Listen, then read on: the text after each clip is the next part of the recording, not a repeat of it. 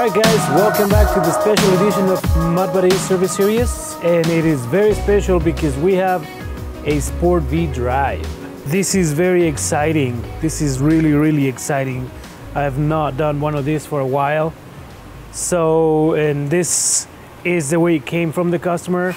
Like I mentioned in my videos before, um, this is the first time I tear into this, so you guys are gonna be doing exactly the same as I do. Um, it is very simple. The gears, obviously, in here it's all gears. There is a gear that comes down and the one that goes, so it's a 90 degree gear. That's what I'm trying to say. Um, obviously, the linkage that goes from that comes from the transmission moves this gear, and uh, in either direction it goes into an input gear, and then goes to the um, shaft gear, the prop shaft gear. It is very simple. There's a little bit of tight tolerances in the gears, like the backlash, the, the gear lash and whatnot, the bearing loading and all that. So um, I'm gonna start by disassembling all this and I'm gonna try gonna try and keep it organized as organized as possible so I can tell you what parts are what and uh, give you guys an opportunity to really see how it all comes together and apart and everything all right? So let's start by removing this front axis uh, axis cap. I am going to use a 3 16 Allen socket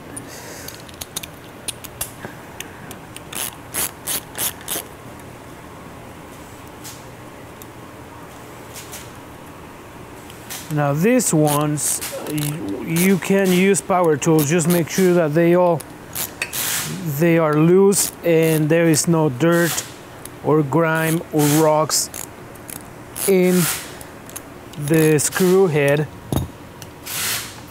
So there is no risk of you um, of you ruining the head or stripping it and then it becomes a bigger problem.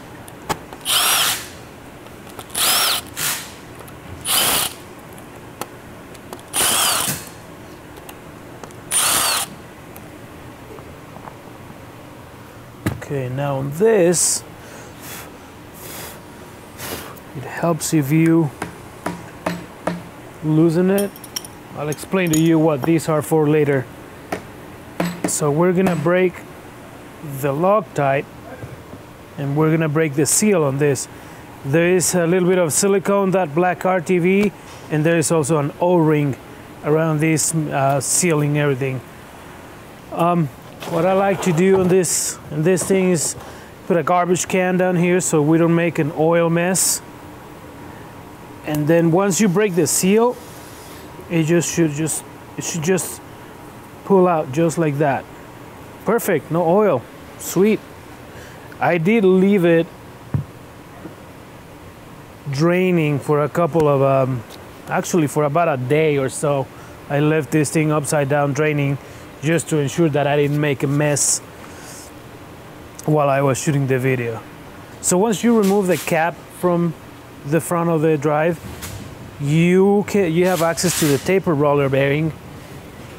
When you want to check on this, obviously, you know, you don't want any weird or excessive scratching on the on the bearing race or on any of the the um, part of the roller bearing. Everything looks good. Now, at this point, there is really nothing you can replace right now. I will show you how to remove this thing back here. What I'm gonna do first, we're gonna take off the the seal cap. This seal cap is just the exact same seal cap that we use on the HDRs, on the Minis, Sport Vs. It is uh, one seal cap for everything, even on the on the big long tails, like the long tail 35, super long tail, they all use the same seal cap. This is a special tool that we made here, but you can use one of those big crescent wrenches. This uh, seal cap, just like everything else on the HDRs, minis, some longtails, this cap, it is a left-handed thread. So just keep that in mind when you're taking it off and putting it back on. You're gonna be fighting it and then you're gonna realize, oh crap, it is left-handed thread. So on this, what we wanna check for, obviously, the that these seals are in a good condition and also the wear on this race. Um, this bushing right here is where, um, if anything, if you see any excessive rust or wear, there is gonna be oil or grease coming out and or water going in, which is not good. Um, the advantage that we have on this is that everything is replaceable. Go to backwaterperformance.com and they have all the parts. They have the seal cap as a kit, or you can buy the seal separately. Um, also, this bushing right here, you can buy it separately and um, and then just replace it. Okay. Now, the, at this point, we have the shaft. The, the shaft is free and it should be spinning freely. okay. Now, right here, if you if you look up here, I'm gonna show you now how the input gear works. Okay, we have the input carrier that is called. We call it the input carrier. That is just two big bearings with uh, two spacers, and it's got the I forget the the name of that gear, but it's it's the gear that is going to pretty much transfer the power from the from the transmission into the prop shaft. Um, it is pretty sophisticated the way that it comes in and out, but this has adjustment. You can see how it spins. That is because we adjusted. We adjust the, the bearing load and we adjust the gear lash as well. That is just so so it doesn't make noise and it, it wears evenly and all that. Um, this one, it is the same size Allen socket on these little bolts. Obviously, when you get it, when you um, when you take all this apart, these are gonna be tight. Just there is no there is no need for you to remove the bolts, the screws completely. That's not necessary. Just uh, make sure that they are pretty loose, about one and a half, two turns and then you'll set you'll set that um, that input carrier free. Now I use two of these punches. They are just 5 16 punches. You'll see two empty holes, and that is so you can get a hold of the carrier and spin it. You gotta be very careful when you're doing this so you don't damage the threads on the carrier or the threads on the on the casting. If you do that, it's gonna be. I I, I don't want to say that it's game over because you can fix him. You can fix those threads. It is very hard. Uh, sometimes you're gonna have to get a special tool to uh, fix those threads. But um, you don't want to damage him. Okay, so you'll you'll feel when it's completely out. Now at this point, when it's all the way up, you can remove the shaft. I'm gonna leave it in there for now. I'm just gonna put a, put all this stuff in a box just to make sure that it doesn't get contaminated and um,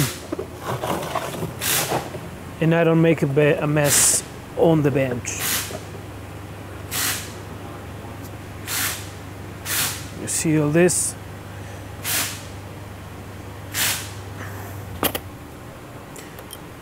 Now the early early Sport V's, I don't I don't know what years, but some Sport V's, this input carrier is going to be made out of stainless steel. Um, the the latest ones we actually went with aluminum, um, billet aluminum. So it is really really strong, and it's about it's considerably lighter um, this is what I was talking about. You wanna you wanna check the the state on these bearings, the gear. You can see the wear on the teeth right here. Everything is pretty good. There's no abnormalities on this. it spins. You you don't want to feel any crunchiness, any um, you know that the bearings are dirty. They're ball bearings. They're pretty hard, very very resistant. If you change the oil consistently the way you should, um, this is what you're gonna come out with. This is, I mean, you can feel it. It's smooth, very very smooth. All right, so now we're gonna take out the prop shaft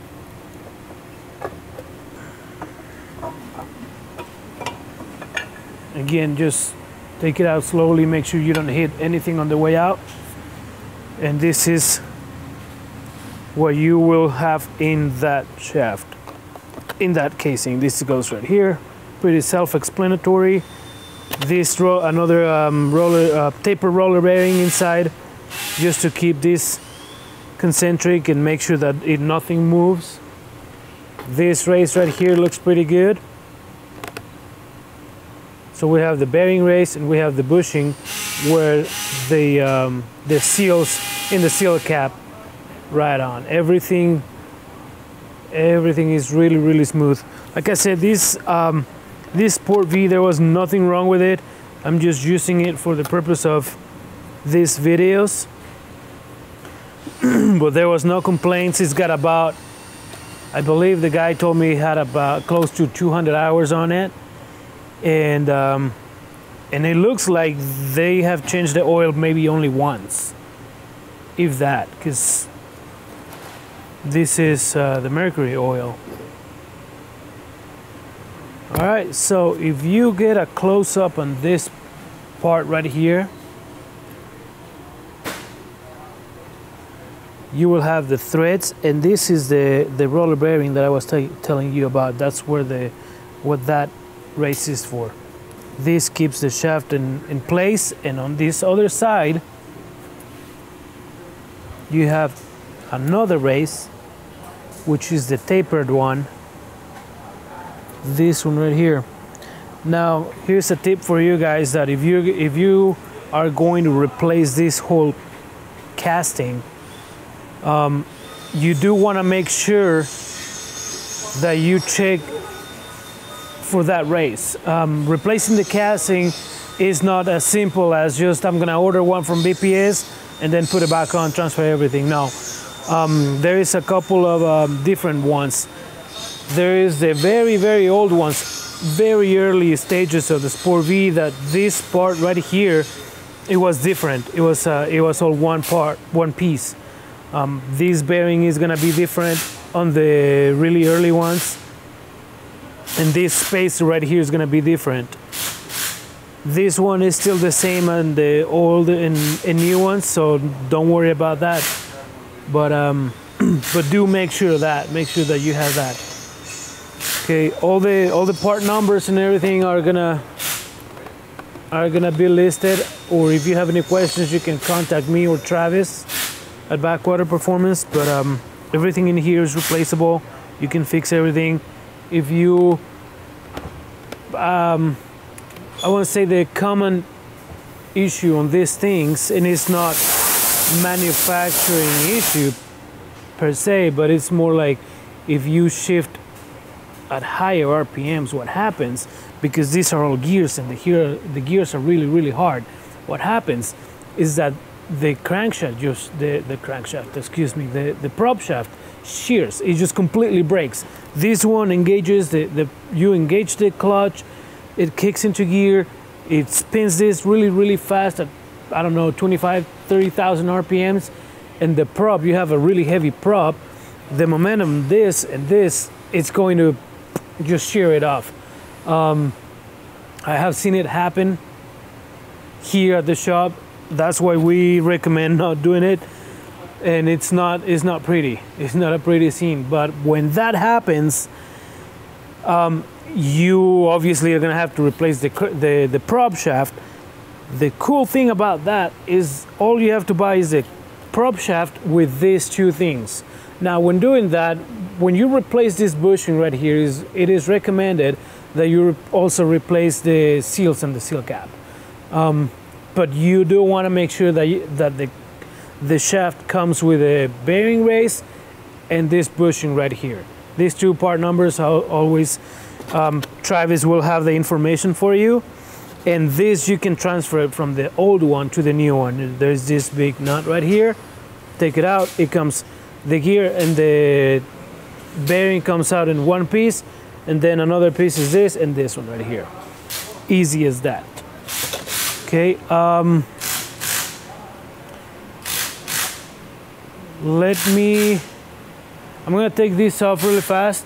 I'm gonna put the shaft on, on, on the vise and I'm gonna show you how to take all these things apart.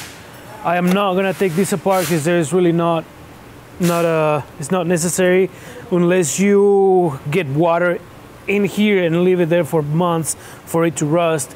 There is really not taken apart, you are gonna just have to replace the whole lower unit in itself. And um, but very very rarely you will have to take this apart. And uh, and it's really simple. You, you just have to take. There is um, I don't know if you can see it, but there is a retaining ring around this gear. Take it off, push the gear out, and there is another retaining ring in this part take that out and you push the bearings out and that's what it comes apart that's how it comes apart. You do need a press. Um, there's part numbers for all that. Again contact travis at backwater performance or myself and we'll give you we'll be happy to give you the part numbers. And if you have to replace it i can tell you how to replace how to take this apart. It's really simple but you don't need, need a press. It's pretty pretty hard in there.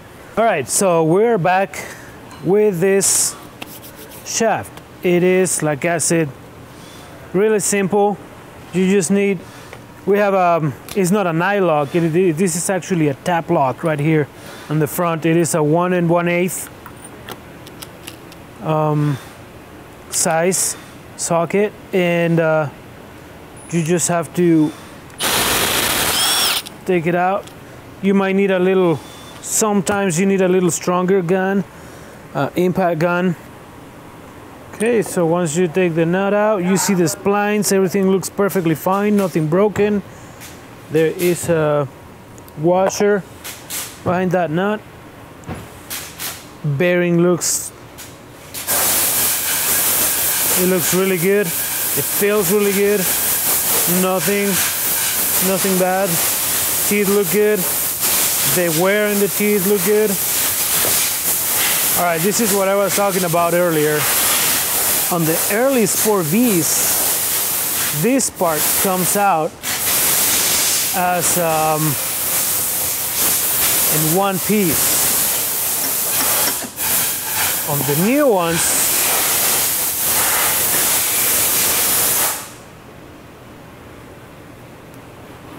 they are all um, they're all two pieces. Now this one is the, one of the early ones because this bearing is pressed onto the spacer.